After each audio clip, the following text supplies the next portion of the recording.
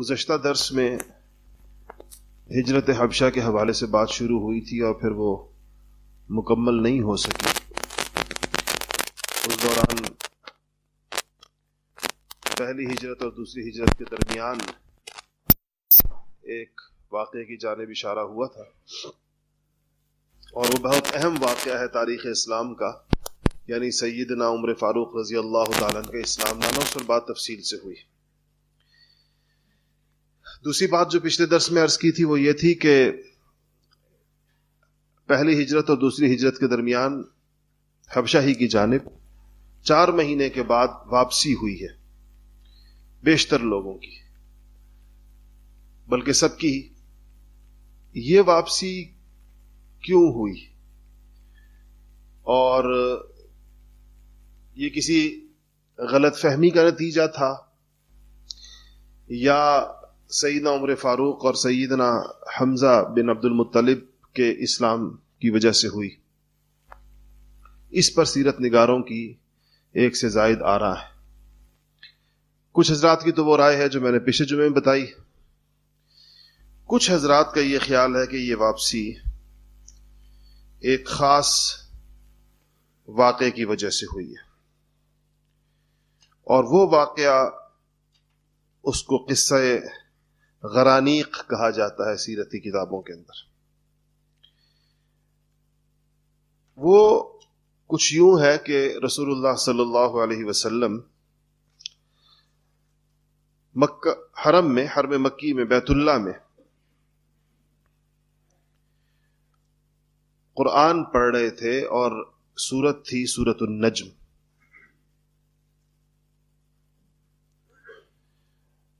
सूरत नज्म एक ख़ास अंदाज की सूरत है। उसका आहंग और उसका जेर बम उसके अल्फाज।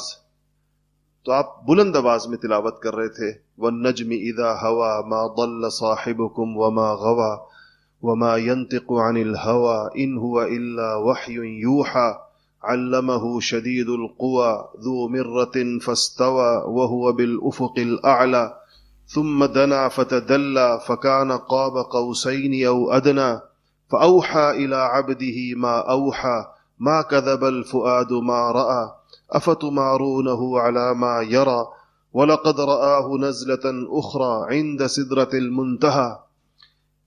इंदहा सिदरतिल मुंतहा ये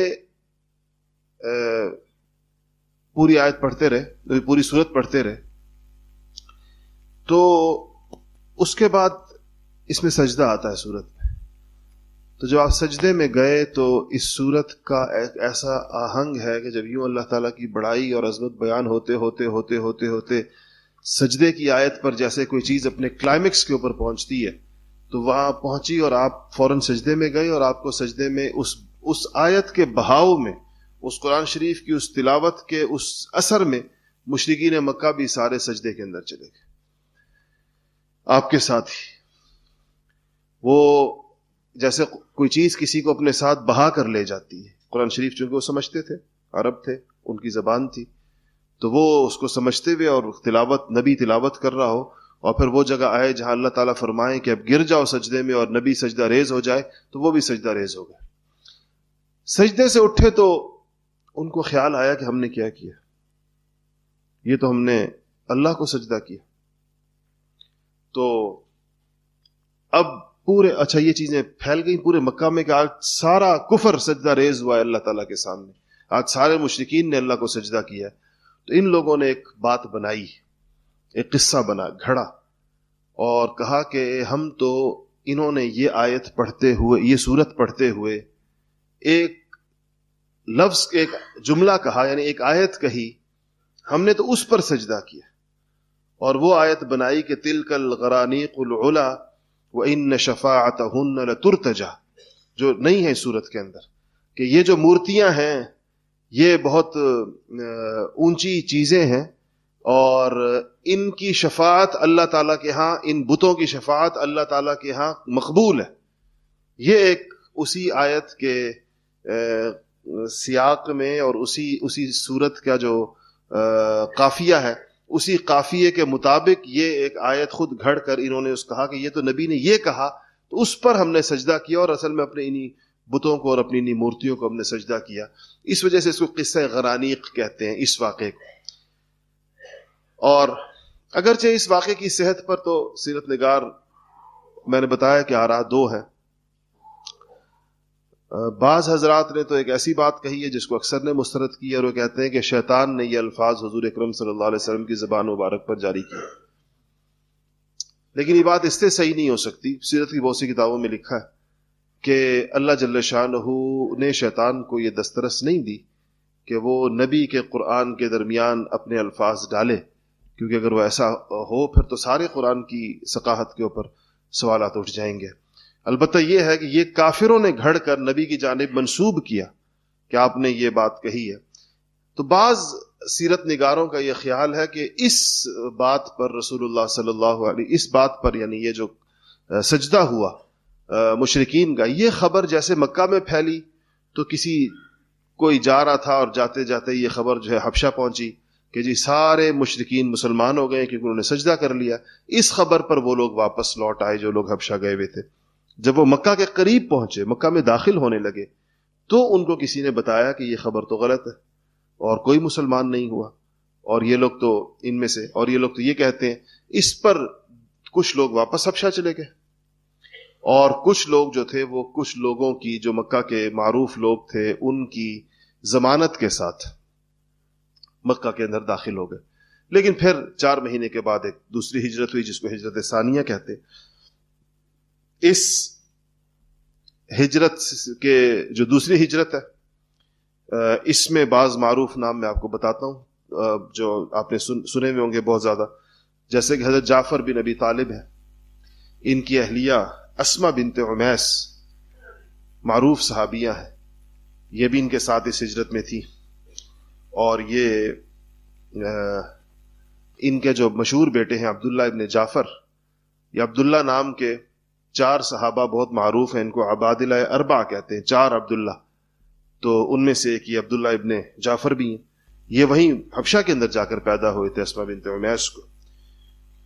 और उसके बाद जो है इसमें खालिद इबन मजून उस्मान इबन मजून मशहूर सहाबी हैं। हज़रत जुबैर हैं, जुबैर बिन अवाम अशरम बशरा वाले। और उतबा के जो बिन रबिया के बेटे, मैंने बताया था कि मुसलमान थे, और अबू हुजैफा, वो इसके अंदर हैं। मुसब इबन उमैर, जिनको मक्का का शहजादा कहा जाता था, मक्का का वो हसीन तरीन नौजवान जिसकी जो बड़े पूरे मक्का में, जिसको आजकल के अल्फाज में कहते हैं, जिनके फ़ैशन की पैरवी की जाती थी, मुसलमान होने से पहले मुसब इबन उमैर अल जिनको हजूर अक्रम सल्लल्लाहु अलैहि ने सबसे पहले मदीना मनवरा भेजा था। खुद जाने से खुद तशरीफ़ ले जाने से पहले। उसमें इसमें वो भी थे। इसमें अब्दुलरहमान इबन औफ अशरम बशरा में से वो भी थे इसमें। अब्दुल्ला इबन मसूद मशहूर सहाबी मैं सिर्फ़ ये वो नाम बता रहा हूँ कि जिन नामों के बारे में जिन जिन नाम जो नाम आप हजरात ने आम तौर पर आ, सुने हुए हैं। इसी तरह हज़रत उस्मान और उनकी अहलिया हज़रत रुकैया बिनत रसूल सल्लल्लाहु अलैहि ये दोनों मियाँ बीवी भी थे। और मैंने पहले बताया कि जब पहली हिजरत के अंदर ये थे तो हजूर सल्लल्लाहु ने फरमाया कि लूत अलैहिस्सलाम और उनकी अहलिया ने हिजरत की थी। उसके बाद ये जोड़ा है जिसने पहली हिजरत की है, क्योंकि पहली हिजरत के अंदर सिर्फ़ यही मियाँ बीवी थे, यानी फैमिली एक ये थी, बाकी लोग जो थे वो तनहा तनहा थे। तो इस तरह और साहबा के फहरिस्त तो बहुत तवील है जिन लोगों ने इसके अंदर हिजरत की है। अच्छा अब ये ऐसे हुआ कि ये लोग वहाँ जाकर रहने लगे। और इस हिजरत का एक मकसद दावत भी था। और वहाँ मुसलों को और इन हजरात की हिजरत कामयाब हुई। नजाशी मुसलमान हुआ, इनके हाथ पर बादशाह मुसलमान हुआ। इधर मुशरकी ने मक्का को जब, ने जब देखा कि ये लोग वहाँ जाकर बहुत इतमान से रह रहे हैं तो दो खतरे पैदा हुए। एक तो ये कि इनके इतमान को और इनके सुकून को देखते हुए यहाँ से मुस्तकिल हिजरत होती रहेगी, लोग जाते रहेंगे। दूसरा, वहाँ अगर इन लोगों ने इस्लाम फैला दिया तो हबशा उस जमाने की बड़ी ताकतों में से एक ताकत थी। और शायद आपको याद हो कि मैंने आपको बताया था कि अब्रहा जो यमन का बादशाह था, या यमन का गवर्नर था तो यमन भी उस वक्त जेर नगी था हबशा के। और हबशा के बादशाह की तरफ़ से अब्रहा जो था, वो गवर्नर था यमन का। इससे आप अंदाज़ा लगाएँ कि एक जमाना ऐसा भी गुजरा है कि एशिया के इलाकों के ऊपर अफ्रीका की हुकूमत रही। हबशा तो अफ्रीका में, यमन एशिया में। तो एशिया पर अफ्रीका की हुकूमत का जमाना भी गुजरा। तो इन लोगों ने यह किया कि, कहा कि एक वफद भेजा जाए और जाकर नजाशी से बात की जाए कि हमारे ये जो लोग, उनके अल्फाज में कि हमारे भगोड़े हमें वापस किए जाए।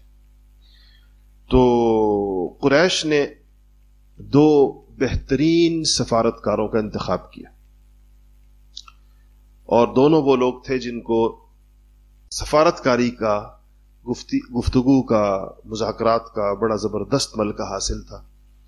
एक तो वो जिनकी सफारतकारी और उनकी उनकी जहानत और उनकी सियासत से बाद में इस्लाम ने भी बड़ा फ़ायदा उठाया। और वो थे फ़ातह मिसर, आमर इबन आस रज़ी अल्लाह तन ख़ास रफ़ीक, ख़ास सईद नामीर माविया रज़ी अल्लाह तन के। मुसलमान नहीं हुए थे। तो अमर इबन आस को, अमर इबन आस बेटे हैं आस इबन वाइल के।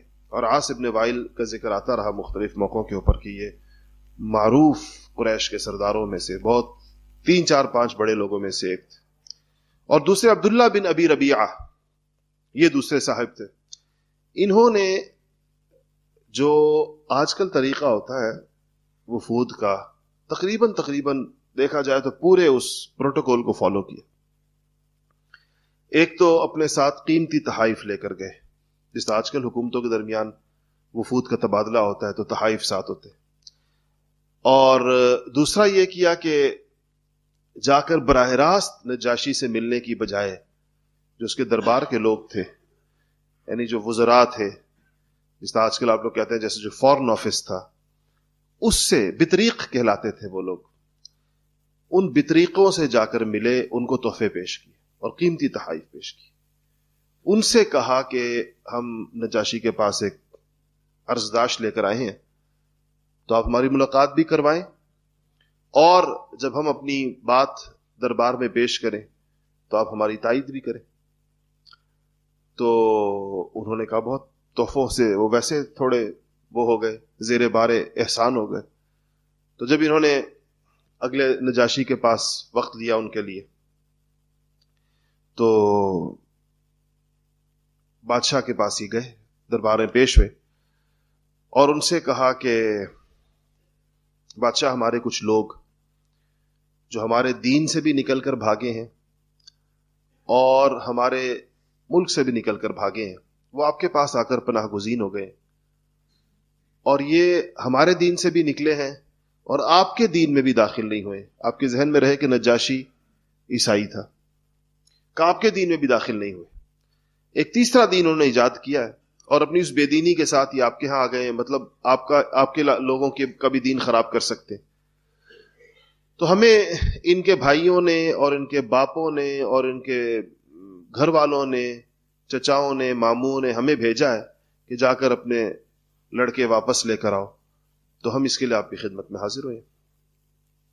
तो बादशाह ने कहा कि मैं कोई फैसला नहीं कर सकता जब तक मैं उनकी बात ना सुन, जो लोग आए हैं, नजाशी ने।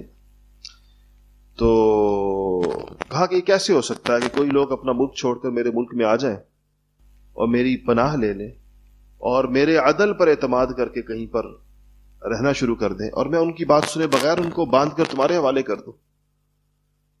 ज़ाहिर है पाकिस्तान तो नहीं था ना? ये तो नजाशी का मुल्क था। ये वो मुल्क तो नहीं है जिसके अंदर अफगान सफीर को बांधकर अमरीकियों के हवाले कर दिए तो और फिर अपने मुल्क से लोगों को बेचने का, यानी परवेज मुशर्रफ अपनी किताब में फख्र करता है इस बात के ऊपर। तादाद, मैंने इतने लोग बेचे अमरीकियों के हाथ, इतने मुसलमान हती कि उसके अंदर आफिया सिद्दीकी जैसी खातून औरत भी है उसके अंदर। तो ये दुख्तर फरोश मिल्लत है। वो तो वो तो वो अपनी बेटियाँ और बेटे जिसने बेच दिए उसके मुकाबले में वो देखे, वो परायों के ऊपर कह रहे हैं कि कैसे मुमकिन है कि मैं उनको तुम्हारे हवाले कर दूँ। तो उसने पैगाम भेजा और उसने पैगाम भेजा और तो साहबा फरमाते हैं कि जब हमें पता चला क्या, कि आए हैं आमिर अब्दुल आस और अब्दुल्ला इबन रबिया। तो इनकी सफारतकारी की महारतों से हम लोग बाखबर थे। और हमारे जहन में यही आया कि ये शायद बादशाह को मनाने में कामयाब हो जाएँगे। लेकिन हमने आपस में एक मशवरा किया। ये बड़ी अहम बात है। हमने आपस में मशवरा किया बैठकर। एक तो ये कि मशवरे का अमल इससे पता चलता है कि जब भी कोई मसला आए तो मशवरा करना चाहिए। तो मशवरा किया। मशवरे में हमने ये तय किया कि हम सच बोलेंगे। बादशाह जो भी हमसे पूछेगा, हम सच्ची बात कहें। तो आए ये बादशाह ने। जब दरबार में ये पहली हाजिरी थी इनकी बरह रास्त दरबार में, ज़ाहिर है, पनाह तो उनको मिल गई थी, लेकिन पनाह के लिए बादशाह के सामने आना तो ज़रूरी नहीं था। नजाशी के दरबार में सजदे का रिवाज था। और कुरैश ने भी आकर सजदा किया था, कुरैश के वफद में।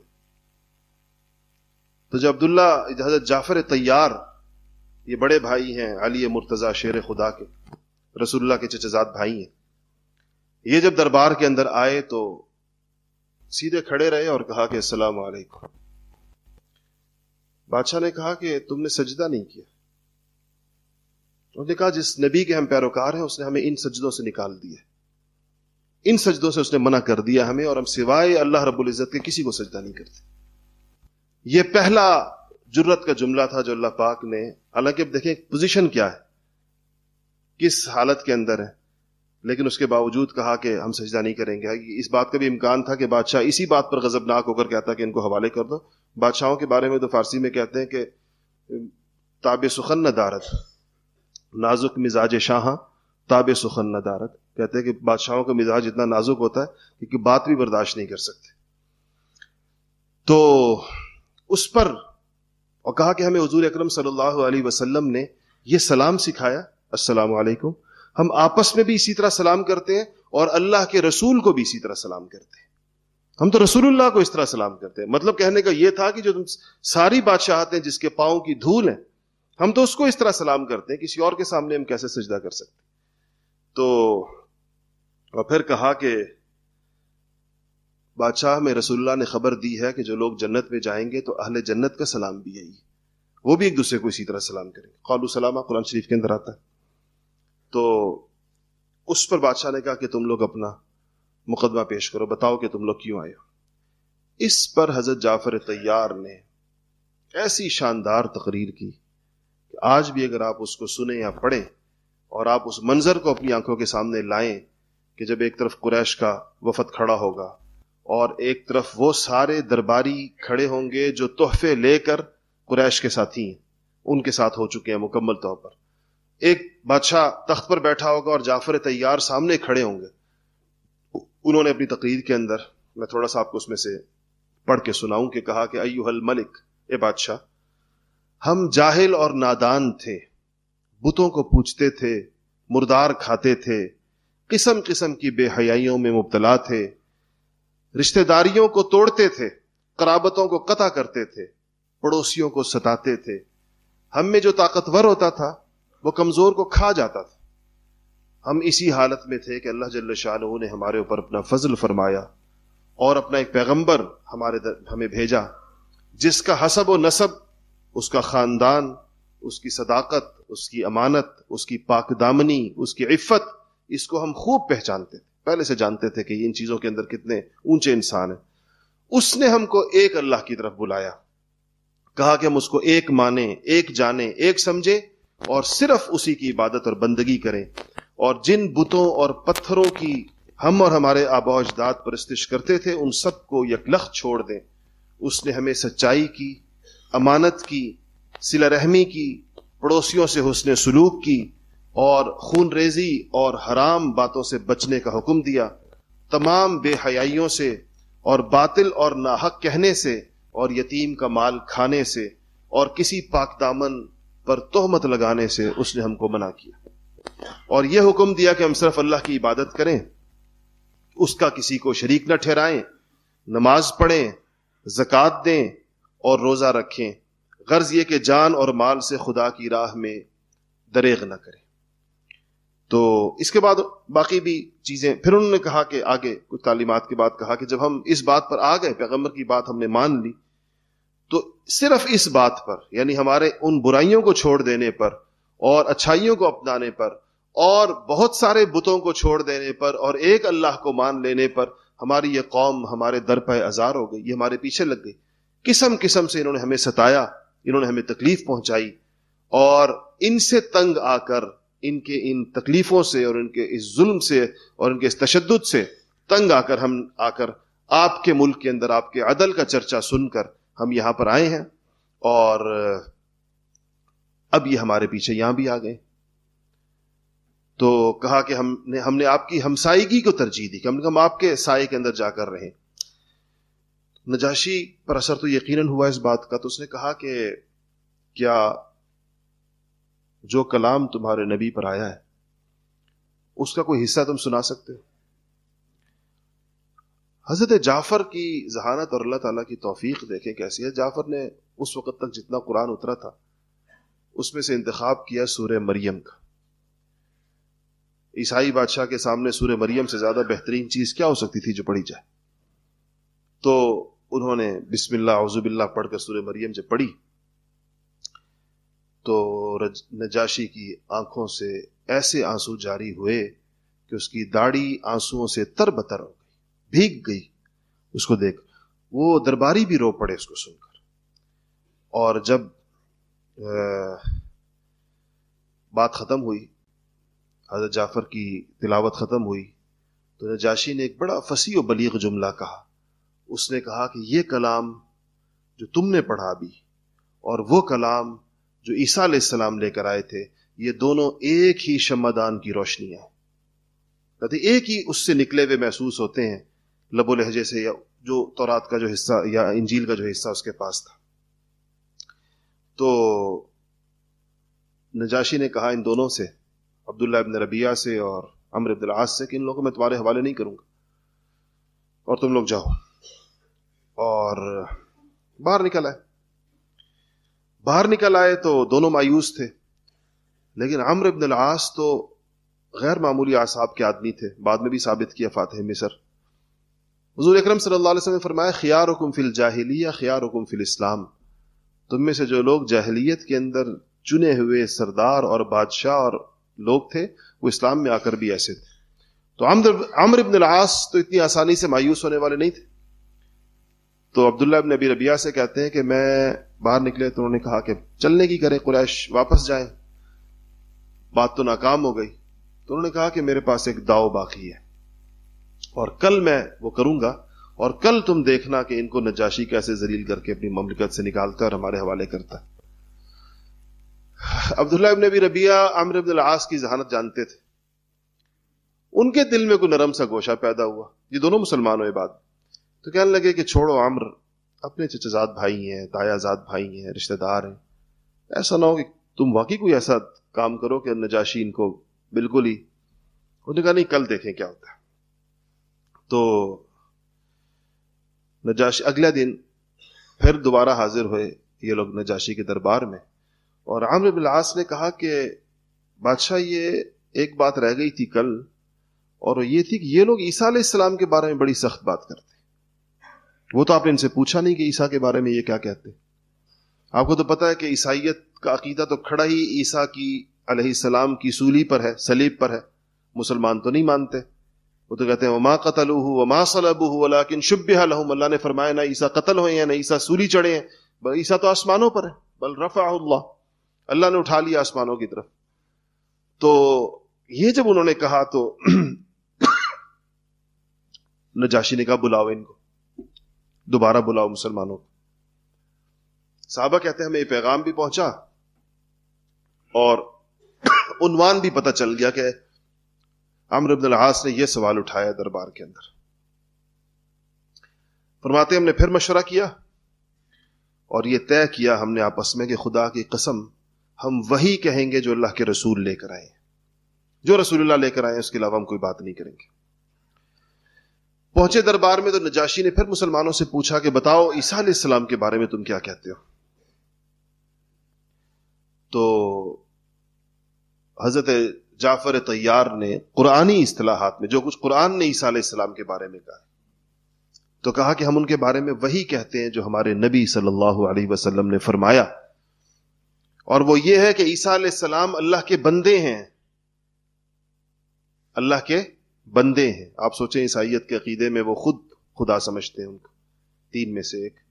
तो कहा, वो अल्लाह के बंदे हैं और अल्लाह के रसूल हैं और रूहुल्लाह हैं और कलीमतुल्लाह हैं। ये दोनों अल्फाज, रूहुल्लाह और कलीमतुल्लाह, उनके लिए कुरान ने इस्तेमाल की रूहुल्लाह का मतलब कि उनकी रूह बर रास्त अल्लाह की तरफ़ से डाली गई है। आपको पता ही ईसा का के वालिद तो नहीं है। तो उनकी रूह तो बरह रास्त अल्लाह की तरफ़ से हज़रत मरियम के रहम में रखी गई है तो इसे रूहुल्लाह कहलाते हैं।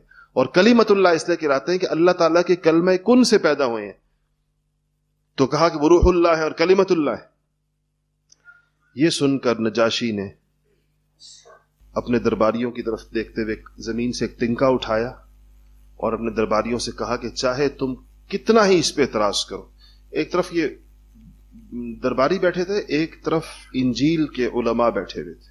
उसके दरबार का आमतौर पर तरीका यह होता था कि एक तरफ़ वजरा बैठते थे और एक तरफ़ उलमा बैठते थे ईसाइत के। तो उसने अपना, उसने उठाया तिनका और उसने कहा कि खुदा की कसम जो इन्होंने ईसा सलाम के बारे में बात की है, ईसा सलाम उससे इस एक तिनके के बराबर भी दाएँ बाएँ नहीं है। एन वही है जो इन लोगों ने कहा। तो उस पर ये तो गोया इस्लाम के कबूल करने का ऐलान ही कहा जाएगा। जब कोई ईसाई, ईसा सलाम के वो हैसियत मान ले जो अल्लाह और रसूल कह रहे हैं तो वो मुसलमान ही कहलाता है।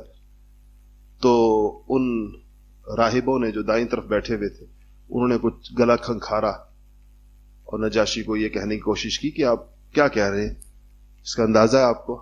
तो उसने फिर कहा कि चाहे तुम लोग जितनी नाक भवन चढ़ाओ, बात यही कि ईसा सलाम यही है जो उनके बारे में कहा गया है। तो फिर उसके बाद उसने कहा कि ये जितने तोहफे ये लोग लेकर आए थे, कुरैश वाले, ये सारे तोहफे इनको वापस कर दो और मैं इनको जो है किसी सूरत के अंदर और किसी कीमत के ऊपर वापस नहीं करूँगा। तो ये चीज़ यहाँ से वापसी हुई। दो बातें इसमें और हैं। एक ये कि नजाशी ने कहा कि बीच में इसके साथ यह हुआ था कि लंबा किस्सा है वो, इसका इकदार चला गया था। और फिर इसको दोबारा मिला। लंबा किस्सा उसको मैं छोड़ देता हूँ, क्या हुआ उसमें? लेकिन इस मौके पे नजाशी ने यह कहा कि अल्लाह अल्लाह ताला ने, ये तोहफे वापस करते हुए यह कहा कि अल्लाह ताला ने जब मुझे मेरी रियासत वापस की, जो मेरे हाथ से निकल गई थी तो अल्लाह ताला ने मुझसे कोई रिश्वत नहीं ली। तो आज मैं क्या इन लोगों के सर के ऊपर रिश्वत कबूल कर लूँ? ये जो रिश्वत लेकर आए हैं, ये लोग मक्का मुकरमा से मेरे लिए। यानी अल्लाह ताला से मुझे हया आती है जिसने मुझे मेरी रियासत बगैर रिश्वत के वापस की, बगैर कुछ लिए वापस की। आज उसके बंदों के बारे में मैं मैं इनकी रिश्वत कबूल कर लूँ। फिर तीन बातें और जाफ़र तैयार ने कही जो बड़ी ही माकूल थी, और इसे आप जाफ़र तैयार की डिप्लोमेटिक सलाहियतों का अंदाज़ा लगाएँ, कितनी शानदार थी कि हज़रत जाफ़र रजाशी से कहा कि बादशाह मैं इससे, अमर अब्दुल आस से तीन सवाल करना चाहता हूँ। तो बादशाह ने कहा, करो।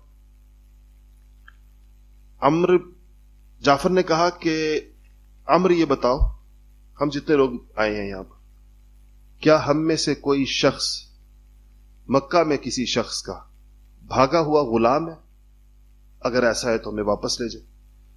तो अमर उल्लास ने कहा, नहीं, कोई भागा हुआ कोई नहीं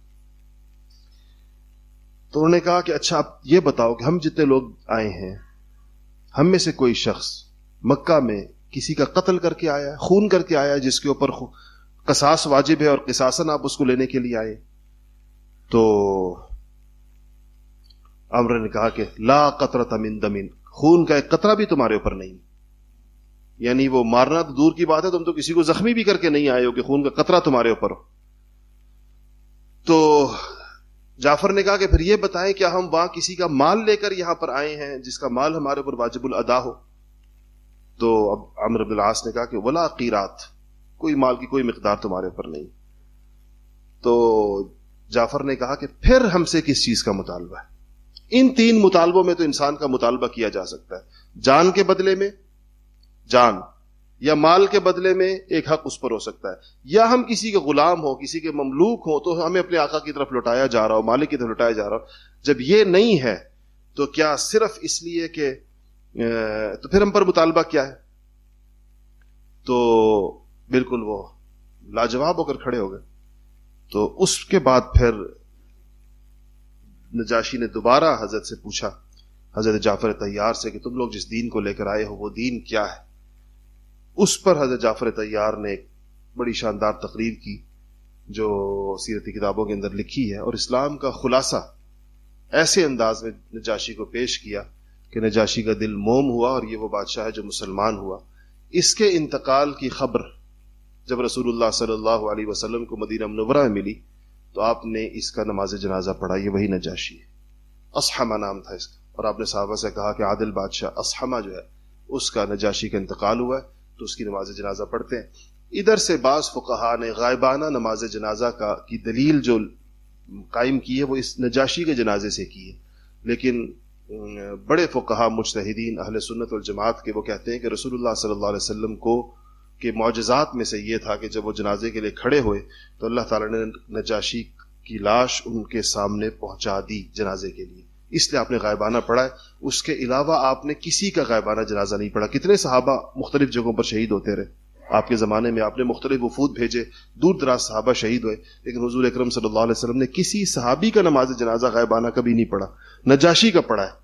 इसलिए इस पर मुसलमान फुकहा की दो आ रहा है। कुछ लोग नजाशी के जनाजे से दलील लेते हुए गायबाना नमाज़ जनाजा दुरुस्त समझते हैं, और कुछ लोग कहते हैं कि यह आप सल्लल्लाहु की खसूसियत थी, खास।